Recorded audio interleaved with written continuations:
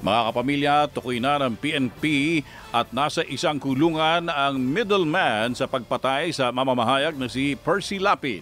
Una nang hiniling ng pamilya mabasa na maproteksyonan ang middleman o ang inutusang kumontrata sa mga papatay para marisolba ang kaso ng pagpaslang kay Percy.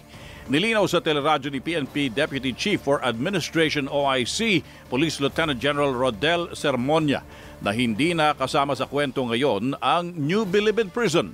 Kinumpirma ni Sermonia na kinontak ng mastermind ang middleman na nasa kulungan. Iniimbestigahan na umano ng SITG ang hindi pa pinangalan ng middleman at nakipag-ugnayan na rin sa tinutukoy na jail facility para sa seguridad nito. Tuloy-tuloy po ang aming uh, investigasyon and we cannot divulge yung mga pangalan nila, mga exact location dahil uh, baka ma-jeopardize po yung ongoing investigation and follow-up operations. Sinabi naman sa teleradyo ni Southern Police District Director, Police Brigadier General Kirby Kraft, inaalam na kung may iba pang dinaanan o layer ang middleman o kung direkta itong kinontak ng mastermind. Nagkaroon na po tayo ng coordination po doon sa humahawak sa kanyang agency.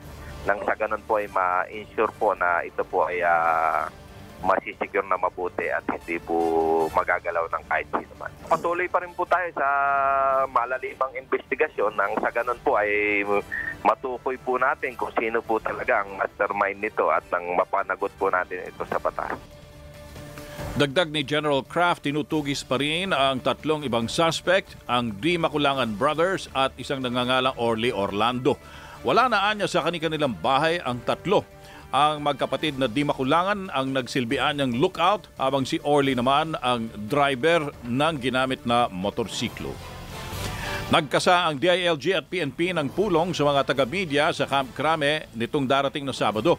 Sina- sinabi sa teleradyo ni PNP Administration, uh, OIC, Police Lieutenant General Rodel Sermonia na tatalakayin sa pulong ang ilalatag na proteksyon sa mga journalists kasunod na rin ang pagpatay kay Percy Lapid at mga pagbabanta sa iba pang mga mamamahayag. Isinasapinal na lang anya ang listahan ng mga iimbitahan sa pulong na inisyatibo umano ni DILG Secretary Benher Abalos. Una nang nabatikos ang PNP sa ginawang pagbisita ng mga tauhan nito sa bahay ng ilang mamamahayag.